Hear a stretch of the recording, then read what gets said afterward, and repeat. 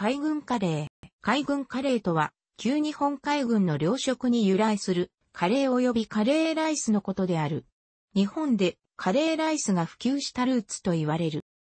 食文化研究家の多くは、カレーライスの原型に近いものはイギリスから入ってきたと見ている。もともとカレーは明治35年頃までは西洋料理店のみで食べられるような高級メニューの部類だか、明治36年から37年にカレー粉が発売されるようになってから一般家庭や陸海軍の給食にカレー粉が出現するようになったと見られている。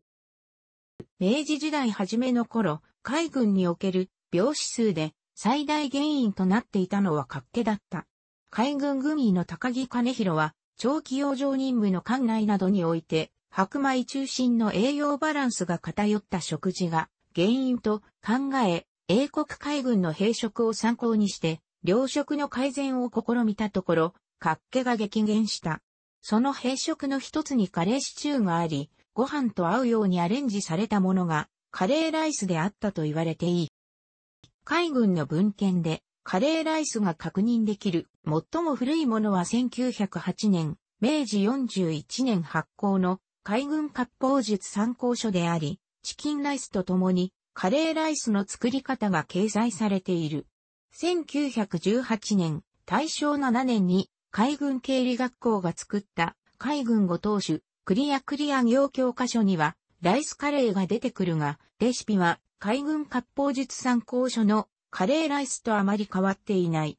1932年、昭和7年の海軍研究調理献立集には、アサリのカレーライス、伊勢海老カレーライス、チキンカレーなど様々なカレーのアレンジ種類が登場してくるようになる。これら海軍のカレーライスが日本におけるカレーライス普及のルーツとなったと言われているが、海軍でのカレーの普及は民間でのカレーの普及に比例したものであり、カレーは海軍が発祥といった説には根拠はないとする見解もある。日露戦争当時、主に農家出身の兵士たちに白米を食べさせることとなった海軍の横須賀鎮守府が調理が手軽で肉と野菜の両方が取れるバランスの良い食事として、カレーライスを採用し、海軍当局が1908年、明治41年発行の海軍割烹術参考書に掲載、口述して普及させ、帝国海軍内以外では、活気の解消が世界中で全くできていない中において、海軍内の活気の解消に成功した。さらにその後の第一次世界大戦を通じ、その普及に努めた。また、この段階でカレーライスに牛乳がついたとされる。材料のうち、調味料を醤油と砂糖に変えると、そのまま肉じゃがになる。そのため補給の面でも具合が良く、それも軍隊食として普及した理由である。肉は主に牛肉で、第二次世界大戦時には食料事情の変化で豚肉も使われた。現在も海上自衛隊では毎週金曜日はカレーライスを食べる習慣になっている。同じ曜日に同じメニューを食べることで、長い海上勤務中に曜日感覚をなくさないようにするためである。ただし、金曜日にカレーライスを出すようになったのは、週休二日制の導入以後である。それ以前は、土曜日が午前中だけの半日勤務、いわゆる半ドンであったので、給養員も午後には業務を終えての上陸、外出等に対応するため、土曜日の昼食には調理の準備や後片付けの時間が短縮できるメニューとしてカレーが選ばれていた。準備や後、片付けが簡単な料理の中からカレーが選ばれた理由も、旧海軍時代から栄養バランスの良い料理としてカレーが定着していたためである。海上自衛隊で食されているものは海上自衛隊カレーとまとめて呼ばれる。現在は各艦艇、部署ごとに専任者から独自の秘伝レシピが伝えられているため、作られるカレーは艦艇、部署ごとに異なり、単一の味、レシピは存在しない。XXX スーパーカレー、XXX は艦艇番号などというような呼び方をする。2008年1月1日より海上自衛隊は海上自衛隊レシピページ上においてカレーライスなど体内で提供される食事のレシピを公開している。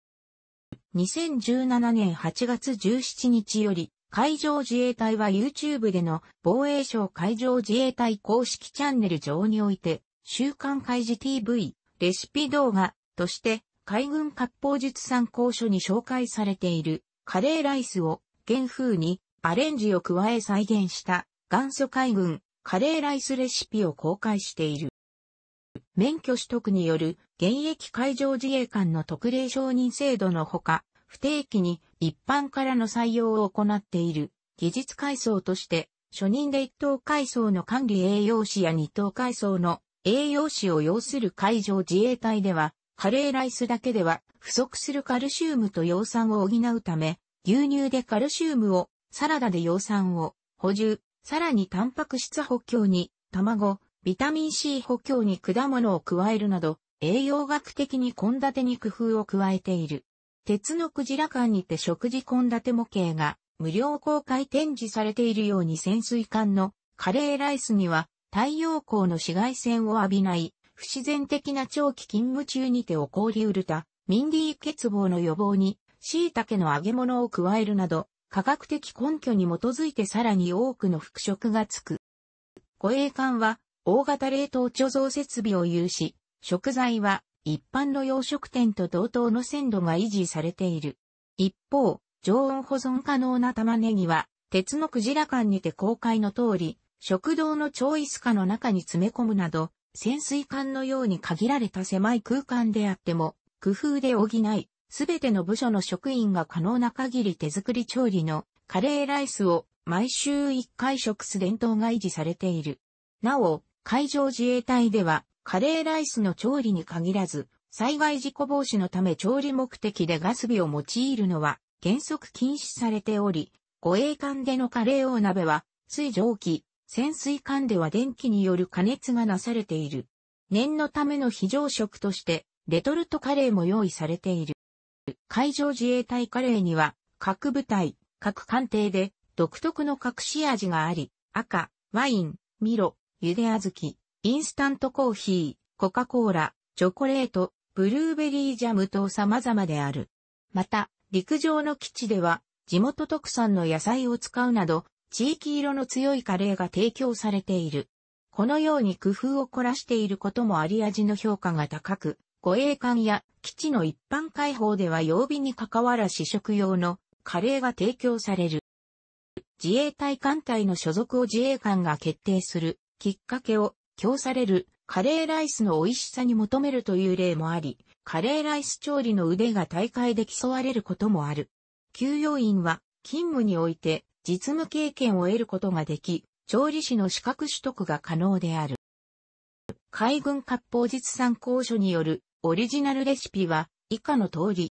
炊飯やルー作りに使うスープに関する記述がないが、牛骨やテール、鶏ガラなどをくず野菜と共に煮て、こしたもの、簡易ブイヨンを使ったと推察される。かつて旧海軍の横須賀鎮守府が置かれ、現在も海上自衛隊横須賀基地が置かれている神奈川県横須賀市は、現在、カレーの街を宣言し、海軍割烹術参考書のレシピを導入している店舗を横須賀海軍カレーの名称を使用できる店舗として認定するとともに、キャラクター、スカレーを起用し、横須賀市のウェブサイトにカレーの街横須賀というウェブページを設け、京浜急行電鉄とコラボレーションしたキャンペーンを行うなど、海軍カレーで町おこしを行っている。これは、陳樹府が海軍カレーを採用していたことから、カレーライスは横須賀から全国に広がったと横須賀市が捉えたためである。横須賀市以外でも小麦粉をいったものを混ぜたカレー粉が市販されているので、家庭でも容易に作ることができる。横須賀海軍カレーは原則として、カレーライスサラダ、牛乳の3点をセットで提供する。2010年8月、横須賀海軍カレーのスピンアウト作品として、健やか軍艦カレーが横須賀市内で販売開始された。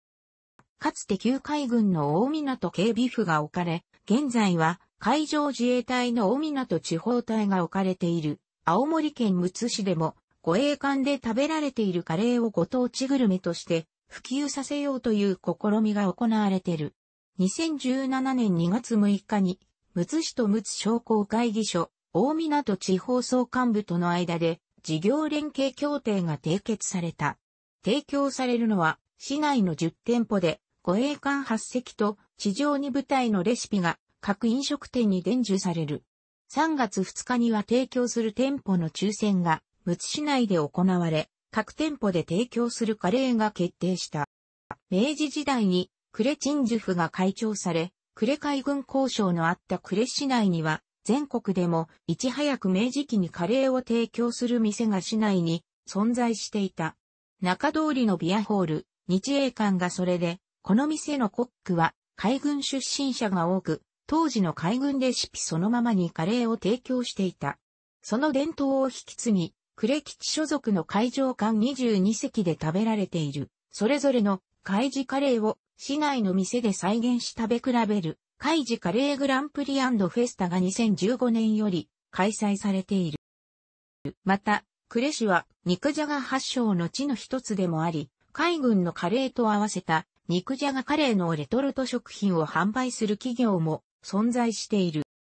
楽しくご覧になりましたら、購読と良いです。クリックしてください。